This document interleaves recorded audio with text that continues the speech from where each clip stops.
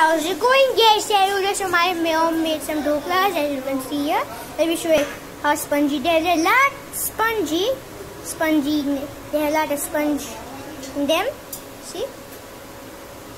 So let's have a taste. I took a small bit. Yep, they are nice. Over here we got lantern, this tasty lantern also.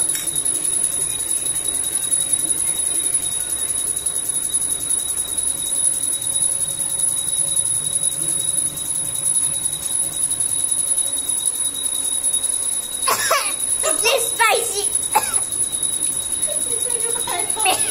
Is this spicy? it's you know with like spicy.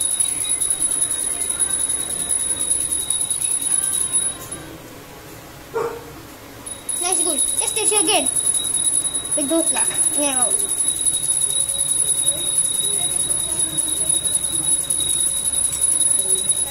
Oh my god, that's damn spicy. So, um, spicy. So, if you enjoyed this video, make please like, share and subscribe my channel. Hashtag UJ.